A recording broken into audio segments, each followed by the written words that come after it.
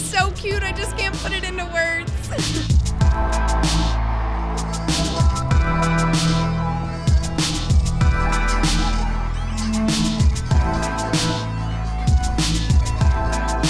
It's really hard to choose between the live Rameses and the mascot Rameses because they both bring a lot to the table. The live Rameses is like is become more than a mascot because of the way that I think everyone reacts to having an animal around. Like you love your family pet, and we love Rameses even more than that. But the person Rameses is a lot of fun because he like pumps up the crowd for all the games.